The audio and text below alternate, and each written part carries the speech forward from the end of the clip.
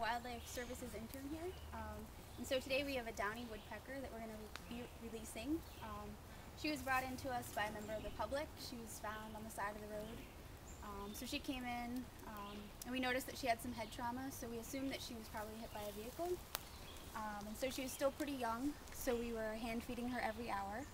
Um, and eventually she started eating on her own, which was really good, and she recovered from her head trauma. So we moved her out to our songbird aviary um, just to see how well she flew, um, to make sure she kept eating on her own. Um, and so today is her big day. She did really well. She passed her test, and I'm going to try releasing her. And I'm going to try and take her out of the box and show her to you. Um, she might just fly out though.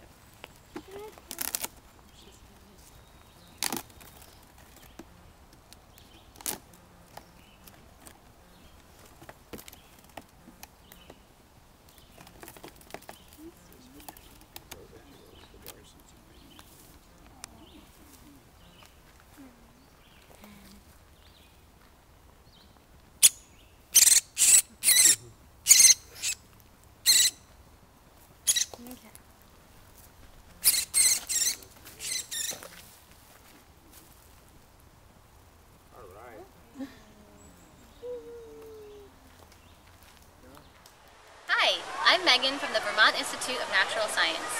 What you have just seen is one example of the more than 400 birds that VINS cares for each year. As a 501c3 not-for-profit organization, we depend on your support to provide the medical treatment these birds require to get them healthy and back into the wild.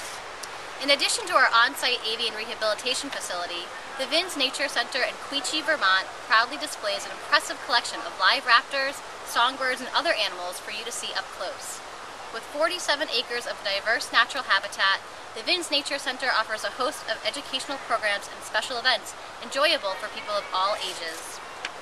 For the latest information on the birds in our care, a list of our current Nature Center programs, outreach opportunities, and events, or to contribute to VINS so that we can continue our important work, please visit our website at vinsweb.org or call 802 359 5000 for more information.